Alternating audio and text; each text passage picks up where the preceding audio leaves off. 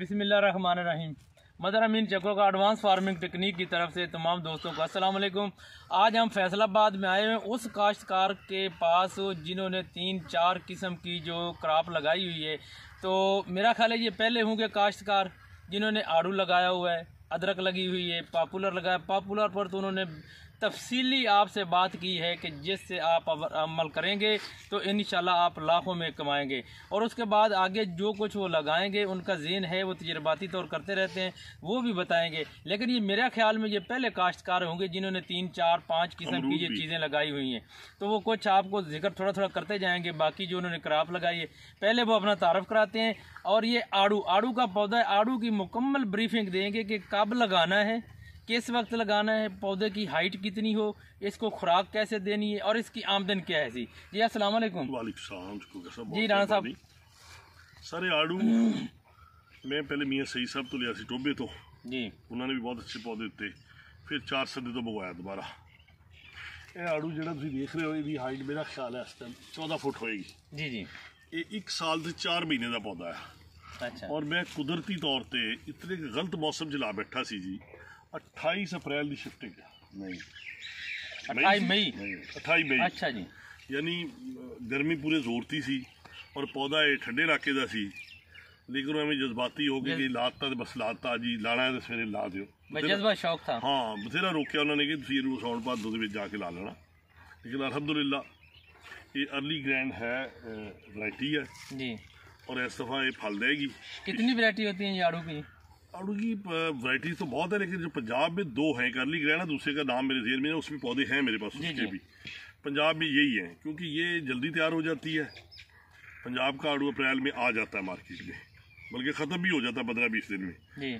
तो स्वाद का आड़ू तो चलता है अक्टूबर तक। जी जी। तो इसलिए ये वैरायटी गर्मी जो है ना वो बहुत ज़्यादा होगी तो आड़ू बर्दाश्त नहीं करेगा बेस्ट टाइम कौन सा है इसको लगाने का? बेस्ट टाइम तो हमेशा ही हर चीज़ का जो है वो, वो फरवरी? बाहर ही। है अच्छा। अच्छा लेकिन उसमें फरवरी नहीं मैं कहता। अच्छा फरवरी नहीं कहता। हाँ, फरवरी इसलिए नहीं कहता कि बहुत सारे दोस्त जैसे बी अरशद साहब ने बताया हम इसकी प्रोनिंग करने लगे थे। उन्होंने कहा जी ये जो है ना ये पौधे ये खुश्क हो गए पत्ते तो इनकी खुराक सारी जमा हो जाएगी इस पे तने में। जी जी। ये जब जनवरी का एंड होगा तो ये फिर नई शाखें इस तने में से निकालेगा। जी। उसमें अगर आप जो भी पौधा लगाना है हम नॉर्मली फरवरी ही कहते हैं। जी जी। उसको जनवरी में लगाएँ जी। तो फिर वो अपना मौसम के साथ एडजस्टमेंट करके ना जब बाहर आती है तो वो फिर उसकी शगुफे हर चीज़ वो ज़्यादा खूबसूरत से निकलती है। जी। आपसे यहाँ पे एक सवाल है कि आपने कहा कि इसको फरवरी करें जनवरी में करें? अगर जनवरी में ट्रांसप्लांट करते हैं या लगाते हैं तो इसको ऊपर कवरिंग की ज़रूरत होगी? नहीं। फ्रॉस्ट पड़ रही नहीं जनवरी में ये सोया होता है।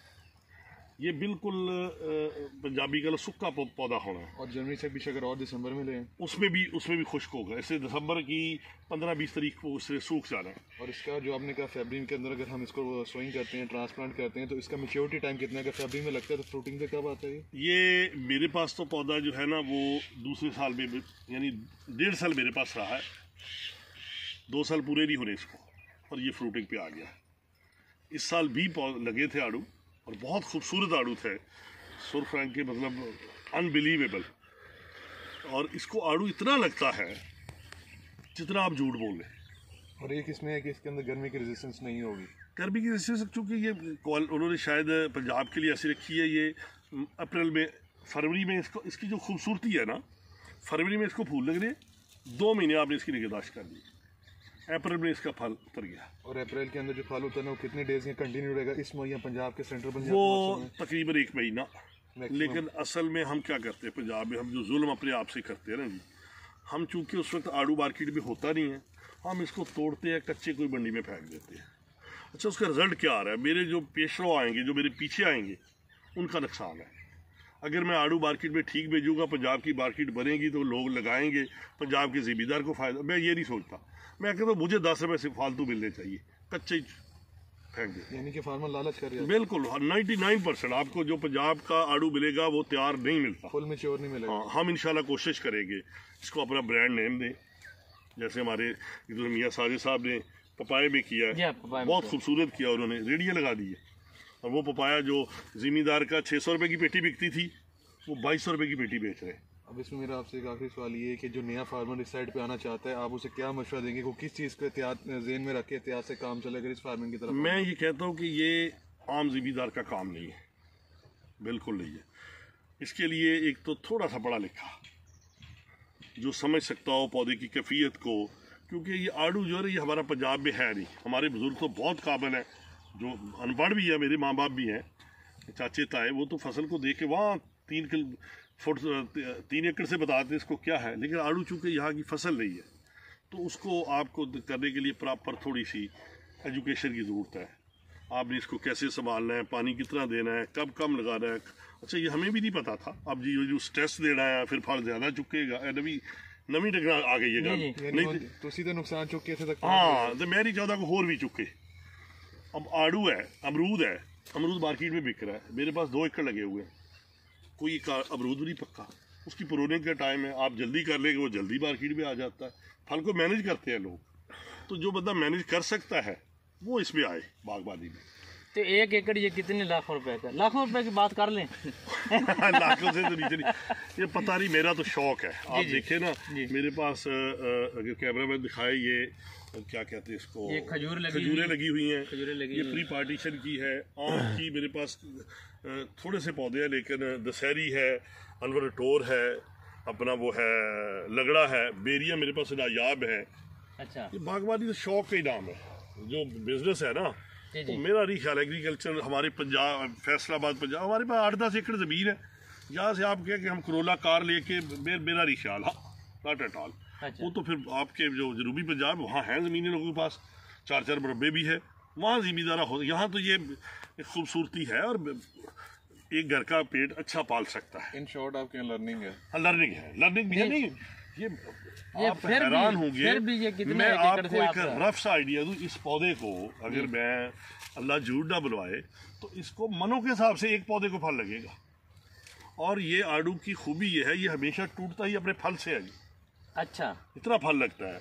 और यहाँ पंजाब में आपके किसी चीज़ को इतना फल नहीं लगता इतना आड़ू फल उठा तो खुराक इसको वही देनी है खुराक नॉर्मल जो दे रहे हैं खाद पोटाश वगैरह दे देते हैं। जी जी। जिंक वगैरह का स्प्रे जिंक क्या किया था अभी?